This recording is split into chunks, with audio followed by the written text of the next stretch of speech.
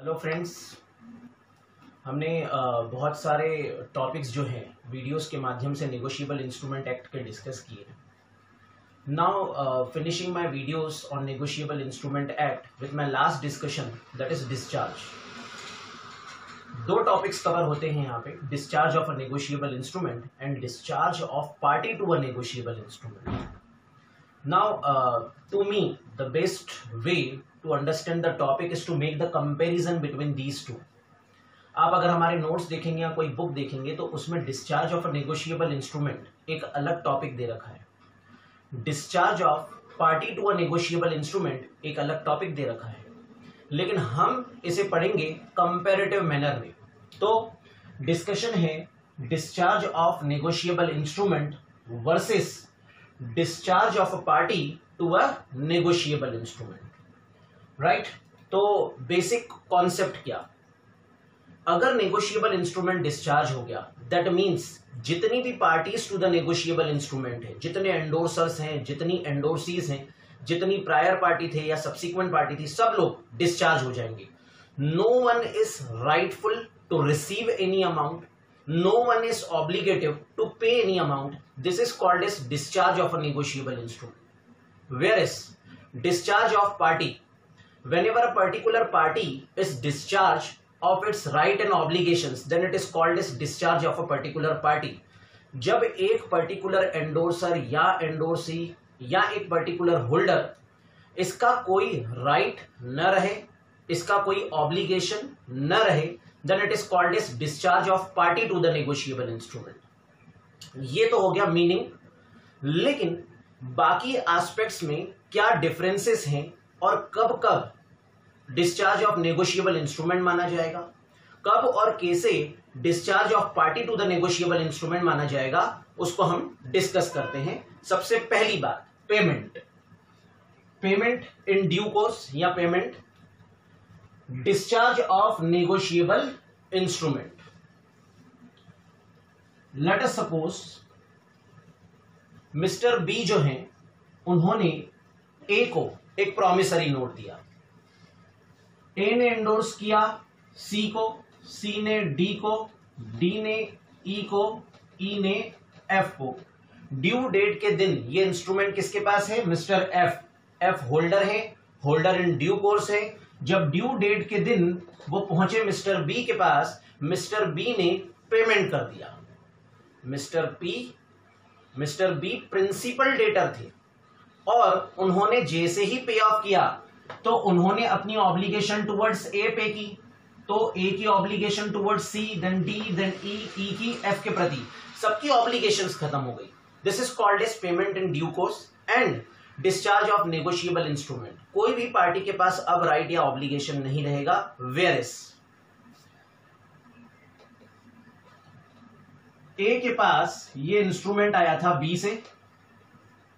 ए ने एंडोर्स किया सी सी ने एंडोर्स किया डी को डी ने ई e को ई e ने एफ़ को एफ़ ने जी को. Now let us suppose this negotiable instrument is discharge by B on due date B sorry this negotiable instrument has been dishonoured by the B on due date due date के दिन B ने इसका dishonour कर दिया। अब जो holder in due course या holder है, उसके पास राइट right आता है to see all the prior parties तो जी जो है, वो होल्डर है। वो किसी भी प्रायर पार्टी को नोटिस देके लायबल बना सकता है, लेकिन ऐसे केस में लेटर सपोज़ जो ई e हैं, उन्होंने पेमेंट कर दिया जी को। जैसे ही ई e ने पेमेंट किया ई e डिस्चार्ज हो गए। राइट लेकिन ई ने पेमेंट किया तो उनकी सारी सब्सिक्वेंट पार्टीज़ भी डिस्चार्ज हो गई। यहाँ पे अब जी लायबल नहीं है एफ़ लायबल नहीं है ई e लायबल नहीं है, लेकिन डी लायबल है ई e के प्रति सी लायबल है ई एंड डी के प्रति। ऐसे, जिस भी पार्टी ने पेमेंट किया, उसकी सब्सिक्वेंट पार्टीज़ डिस्चार्ज हो चुकी हैं। और इस पार्टी का अभी राइट बाकी है। Right this is called as discharge of party now second negotiation back negotiation back में इसी एग्जांपल को हम कंटिन्यू करते हैं। लेट अस सपोज़ ए ने प्रोमिसरी नोट ए डेटर है प्रोमिसरी नोट दिया ए को ए के फेवर में एग्जीक्यूट किया ड्रॉ किया ए ने एंडोर्स किया सी को सी ने डी को डी ने ई e को ई e ने एफ़ को। आज holder in due course F लेकिन एफ़ का क्रेडिटर खुद बी है और एफ़ जो है, वो नेगोशिएशन बैक कर दे बी को। तो ऐसे केस में प्रोमिसरी नोट पेबल भी मिस्टर बी के लिए और पे भी मिस्टर बी को करना है। तो जो प्रिंसिपल डेटर है, वही होल्डर बन जाए। तो ऐसे नेगोशिएशन बैक में सारी पार्टीज़ डिस्चार्ज हो जाएँगी। किसी का भी राइट नहीं, किसी का भी ऑब्लिगेशन नहीं। Then it is called is discharge of negotiable instrument लेकिन नेगोशिएशन बैक यदि ऐसा हो कि एंडोर्स होते होते जो जी हैं, उन्होंने एंडोर्स कर दिया ई e को। तो मैंने उस लेक्चर में आपको बताया था, जिस लेक्चर में नेगोशिएशन बैक डिस्कस किया था, कि इंटरमिटेंट पार्टीज़ जो हैं, वो डिस्चार्ज हो जाती हैं। क्योंकि ई e जो है, वो खुद एफ़ और जी के लिए एक प्रायर पार्टी है, लेकिन ई e के लिए जी और एफ़ भी सब्सिक्वेंट पार्टीज़ हैं तो ऐसे नेगोशिएशन बैक में जितनी इंटरमीडियंट पार्टीज़ हैं, यानी कि हमारे एग्ज़ाम्पल में G and F they are discharge by negotiation back right discharge of party हुआ यहाँ पे भी। अगला discussion by operation of law इसी एग्ज़ाम्पल को कंटिन्यू करते हैं। प्रोमिसरी नोट बी ने ए को दिया। ए ने एंडोर्स किया और फर्दर एंडोर्स होते होते आज ये प्रोमिसरी नोट किसके पास है? एफ़ के पास। By operation of law let us suppose F जो है, वो किसी कारण से इस प्रोमिसरी नोट को प्रेजेंट करना भूल गया। उसके बाद मिसप्लेस हुआ। उसके बाद एफ़ जो है, वो पेमेंट लेना भूल गया। तीन चार साल बाद उसे याद आया, एक प्रोमिसरी नोट भी था, उसे मिला। जब वो पेमेंट लेने गया तो बी जो है, उसने लिमिटेशन एक्ट के अंदर बताया, ये डेट अब टाइम बार्ड हो चुका है। तो by the very nature of law एक इंस्ट्रूमेंट यदि टाइम बार्ड हो गया ऐसे केस में कोई भी पार्टी किसी से भी कोई पेमेंट अब ले नहीं पाएगी, यानी बी जो है, उसकी ऑब्लिगेशन खत्म तो सबकी ऑब्लिगेशन खत्म हो जाएगी by operation of law limitation act के अंदर टाइम बार्ड हो गया। लेकिन यहाँ अगर ऐसा हो कि बी ने जो प्रोमिसरी नोट ए को दिया ए ने सी को सी ने डी को डी ने ई e को, और ऐसे इंस्ट्रूमेंट जी तक आया now let us suppose F जो है, वो इंसॉल्वेंट डिक्लेयर हो गया। बैंक हो गया राइट तो ऐसे केस में क्या एफ़ अब ऑब्लिगेटिव रहेगा? नहीं. कोर्ट ऑफ़ लॉ ने उसे अनडिस्चार्ज इंसॉल्वेंट डिक्लेयर किया. सिर्फ़ और सिर्फ़ एफ़ लायबल नहीं रहेगा.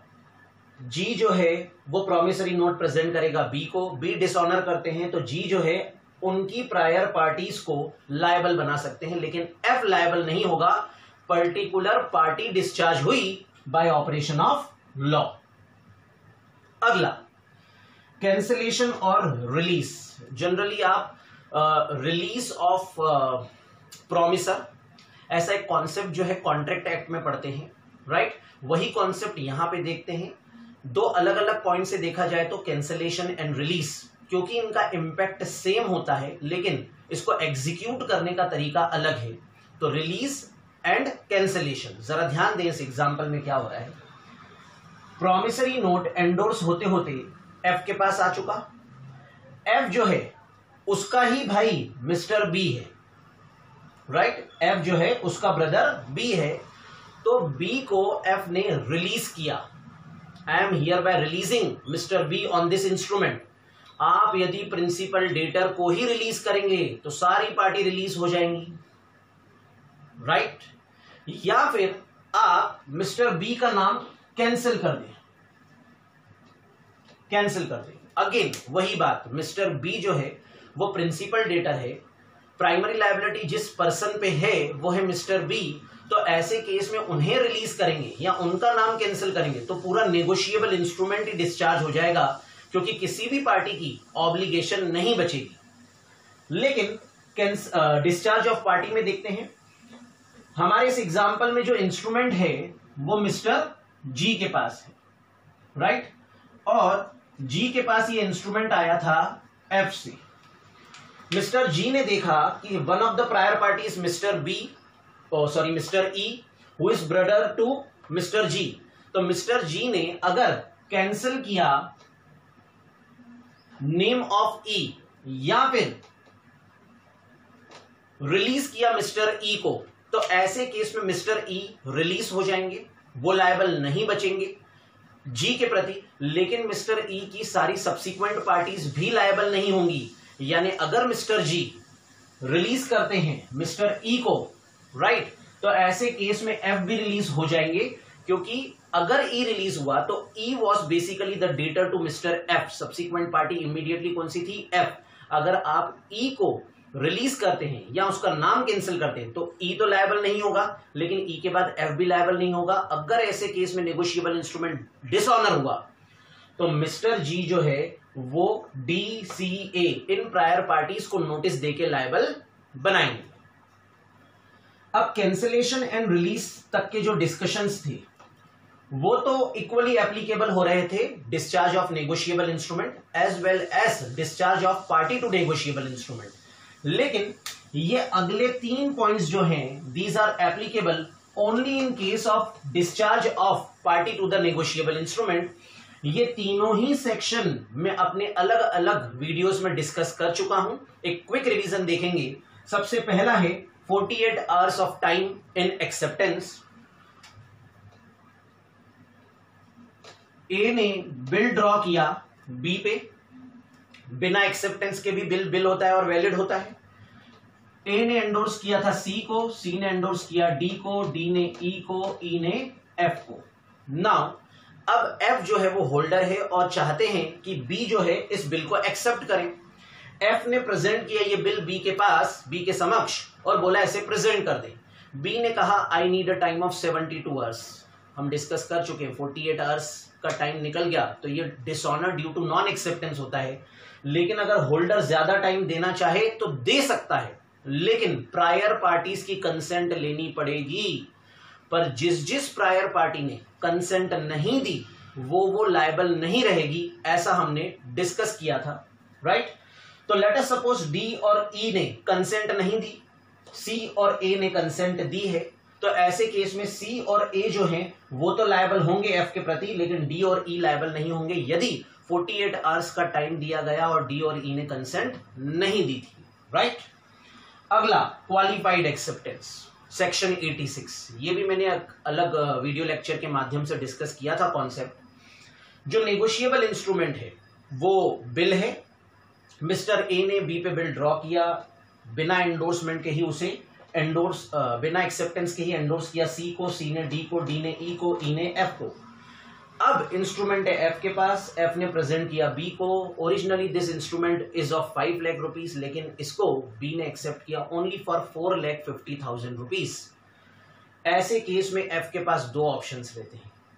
उनमें से एक ऑप्शन था क्वालिफाइड एक्सेप्टेंस को रखना, अपनी कंसेंट दे देना राइट लेकिन अगर एफ़ कंसेंट देते हैं क्वालिफाइड एक्सेप्टेंस को तो जिस जिस प्रायर पार्टी ने मना किया था, वो प्रायर पार्टी अब एफ़ के प्रति लायबल नहीं रहेगी। Last one is material alteration material alteration में हमने ये देखा था कि जब भी किसी नेगोशिएबल इंस्ट्रूमेंट में ऐसा अल्ट्रेशन किया जाए, जिससे पार्टीज़ के राइट्स और ऑब्लिगेशन चेंज हो जाए या नेगोशिएबल इंस्ट्रूमेंट का कैरेक्टर चेंज हो जाए तो ऐसा अल्ट्रेशन मटेरियल अल्ट्रेशन कहलाता है। दूसरी बात कुछ मटेरियल अल्ट्रेशन एक्ट द्वारा ऑथोराइज थे। उसके अलावा कोई भी मटेरियल अल्ट्रेशन किया जाए तो प्रायर पार्टीज़ की कॉन्सेंट लेना ज़रूरी है। ना यहाँ पे एफ़ जो है, अगर मटेरियल अल्ट्रेशन करते हैं तो ऐसे केस में सारी प्रायर पार्टी से पूछ के मटेरियल अल्ट्रेशन करना है। जिस जिस पार्टी ने मटेरियल अल्ट्रेशन पे अपनी कंसेंट नहीं दी वो डिस्चार्ज हो जाएगी from negotiable instrument that is why it is called is discharge of a party that particular party is not consenting is discharge on this negotiable instrument तो दोस्तों, हमारे ये लास्ट वीडियो लेक्चर है अब नेगोशिएबल इंस्ट्रूमेंट एक्ट पे right right? तो आप लोग अच्छे से सारे वीडियोस देखें, अच्छे से पढ़ाई करें और कोई भी डाउट आती है तो मुझे कॉल करें. Thank you